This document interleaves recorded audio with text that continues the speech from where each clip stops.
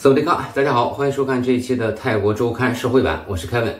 第一，泰国家庭负债创十五年新高。根据国际清算银行的排名，泰国家庭负债总额为十六万亿泰铢，占 GDP 的比率已经到达了百分之九十点六，在亚洲仅次于韩国和香港。泰国的家庭负债已经攀升至平均每户五十五万九千四百零八泰铢，比去年增加了百分之十一。央行表示，泰国债务问题的性质与其他国家不同。该国家庭债务总额的近三分之一是由信用卡和个人贷款组成，这些贷款不产生收入；而其他国家的大部分债务则来自住房贷款。泰国人大多数是消费主义至上，他们很少存款。我们过去在节目中说过，泰国有统计，百分之九十以上的银行账户存款金额不足一万泰铢。有近百分之三十的信用卡和个人贷款借款人表示，他们拥有四个以上的账户，综合信贷额度是其工资收入的十至二十五倍，而国际的这一标准为五到十二倍。泰国国家信用局首席执行官苏拉波尔说，未来四个月内会有大约一百万辆车因贷款违约而被收回。此外，超过四分之一的六十岁以上老人负债累累，平均每人欠债约四十一点五万泰铢。第二，苏梅岛市长和苏勒塔尼府府尹被起诉。本周，居住在苏梅岛垃圾填埋场周围的人们计划提起诉讼，要求市政府、市长和苏勒塔尼府府尹赔偿垃圾填埋场造成的健康威胁。七月十八日，行政法院命令苏梅岛和苏勒塔尼府的官员在一百八十天内处理垃圾，消除垃圾的恶臭，并处理泄漏的污水。他们还将每三十天向法院报告处置工作的进展情况。苏梅岛耗资约五亿泰铢，大约是一亿人民币，建造了一座焚烧厂来处理垃圾，但该设施现在已经无法运转，而垃圾依然日复一日的堆积，每天新增约一百五十吨。目前有超过十万吨垃圾已经从现场清除，还剩下二十万吨。受影响的民众对法院的命令能否在一百八十天内解决表示怀疑，但除此之外也没有其他的什么办法。一位村民告诉记者，他的村里有十多口地下水井因垃圾填埋场泄漏而遭到污染，水样检测显示重金属浓度超标。第三，消灭登革热，泰国卫生部发起灭蚊行动。为了应对泰国迅速增加的登革热病例，公共卫生部从本周初开始发起了一场消灭蚊子的行动。嗯，今年已经累计报告了近四万例登革热病例，大约有四十人死亡，而且这一数字正以惊人的速度上升，每周增加约五千例。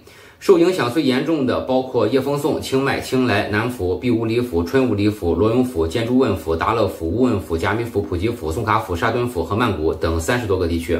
这次行动由卫生部和各府的行政部门负责，主要就是在八月十八日之前，在辖区内蚊虫较为严重的地区喷洒杀蚊的药剂，以遏制登革热的扩散。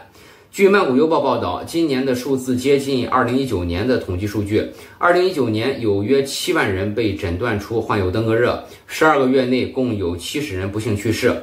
嗯，其中我们不难发现一个规律：今年和二零一九年都是厄尔尼诺现象的第一年。随着降水的减少，登革热的疫情反而会变得更为严重。第四，前和爱市长因滥用资金被判刑罚款。二零零五年二月，宋卡府和爱市市长帕莱被控非法使用政府资金。他以市长的身份从储备基金中提取了近三千万泰铢，用来建造一座泰国高僧龙普陀的塑像。但帕莱违规将资金直接转给了承包商，其中涉嫌腐败。宋卡府反腐败法院曾判处帕莱两年监禁和罚款，但由于犯罪意图不明，这项判决后来被撤销。控方检察官不服，向泰国高院提起上诉。经过了漫长的十八年等待，这起浮浮沉沉的贪腐案终于在本周三正式宣判。和爱市前市长帕莱被判九年监禁，并罚款两千六百九十万泰铢。目前，帕莱被关在宋卡府监狱，他已经偿还了一千二百四十万泰铢，还有一千四百五十万泰铢的缺口。第五，今年第三收费季，泰国电价将下调。泰国的电费和水费每年价格调整三次，每四个月变动一次。昨天，能源管理委员会依据公众调查意见，决定将今年九至十二月份的电价调低百分之五点三，从现在的四点七泰铢每度降低至四点四五泰铢每度。即便天然气价格走低，泰国湾天然气的产量在逐步增加，但电价依然没有出现大幅回落。这主要是因为国家发电局在电费补贴后遭受了巨额损失，这块损失必须从老百姓的钱包里补回来。据该委员会介绍，国家发电局到八月底的亏损总额将达到一千三百五十亿泰铢。为了快速回补这一缺口，他们曾计划今年第三收费季将电费上调至泯灭人性的六点二八泰铢。这一提议遭到了全部市民的反对。在物价持续上涨的趋势下，能源价格再次上涨，无疑会导致泰国家庭负债的进一步恶化。如果按照调整后四点四五泰铢每度来计算，国家发电局的亏损要到二零二五年四月才会结清。第六，泰王为贫困儿童赞助学校。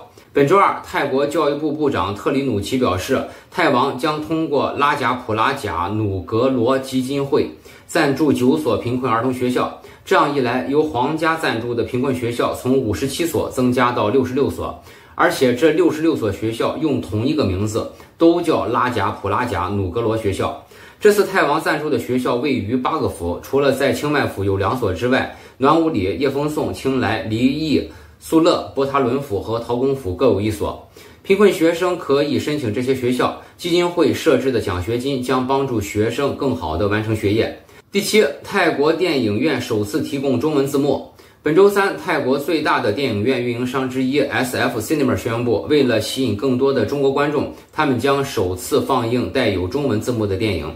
这次选择的电影是美国恐怖片《潜伏》系列的第五部《红门》。中文字幕的电影主要在曼谷和清迈的影院上映。对于这一营销做法，一些人认为可能会对泰国的旅游业和商业产生积极影响，而另一些人则认为此举是对中国游客的过度支持。泰国网民之所以会对此事有所争议，主要是由于泰国副总理维萨努最近拿了在泰国侦破的诈骗案中没收的五亿泰铢，把这部分钱送回了中国。嗯，送钱这事儿在本周的正经版中我们会说。我们继续来看中文字幕的事儿。嗯，不知道普吉岛的俄罗斯游客是不是会有意见啊？毕竟普吉岛已经被俄罗斯游客所占领了，为啥不出个俄文字幕的电影呢？第八，曼谷男子骑摩托车拒绝过路口，引发社交媒体关注。本周初，泰国曼谷一个十字路口，一名男子骑在摩托车上拒绝过马路。由于事发路段只有一条车道，后面所有的车辆都趴着不动，导致该路段严重拥堵。视频在互联网上传播之后，网民并没有指责该男子的行为，多数网民更为关注他的身体健康。有人说他可能患有一种交通事故恐惧症，这类患者非常罕见。但当他们想到交通事故之后，就会出现严重焦虑，病情严重的患者甚至会一直待在家里，拒绝出门。部分网友呼吁家人、社会和医疗机构对他进行有必要的帮助。第九，泰国女子芭提雅坐轨失去双腿，是坐轨啊，不是卧轨。本周四凌晨一点多，一名四十二岁的泰国妇女坐在芭提雅的铁轨上，被驶过的列车压伤了双腿。当然，被火车压肯定不是压伤了，至于有多惨烈，大家自行脑补就可以了。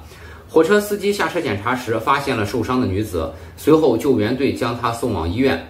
目前，包括警方也不知道为什么她会坐在铁轨上。他可能是想结束自己的生命，也有可能只是想坐着歇会儿，但真相只能等他醒过来之后才能知道。无独有偶，在去年的七月三十日，几乎就是在整整一年前，春武里府也发生了一起非常类似的事故。一名喝醉的男子躺在铁轨上，居然睡着了，他被驶过的火车压伤了双腿，但是保住了性命。第十，在垃圾里生活了两年的住客。周三，一名泰国男子在网上贴出了照片，画面上是一间堆满垃圾的卧室。谁也想不到，他女友的妹妹在这里住了两年之久。两年前，女友的妹妹说要在孔敬府找工作，想暂时住在姐姐和姐夫家里。由于都是亲戚，他们就允许了，而且一分钱不收。这两年间，妹妹很少在家，就算在家也是闭门不出。今年七月的十六日，妹妹说要搬走，然后留下钥匙就消失不见了。第二天，当姐姐和姐夫打开房门时，就直接惊呆了。他们怀疑这简直就不是人住的地方，垃圾堆起来比床头都高，用过的卫生巾粘在梳妆台的镜子上，这环境养猪都不达标。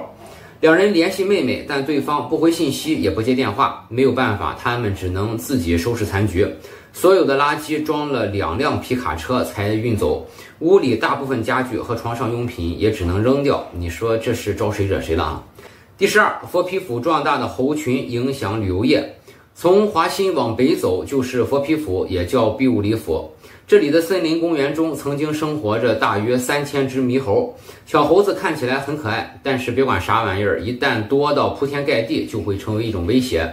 据当地官员介绍，由于猕猴受到法律保护，而且一直以来都能与人类和平共处，所以猴群规模不断扩大。今年四月，该地区猴群数量增长到九千只以上。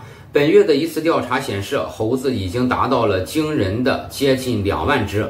他们开始入侵人类社会，拿东西吃，拿衣服穿。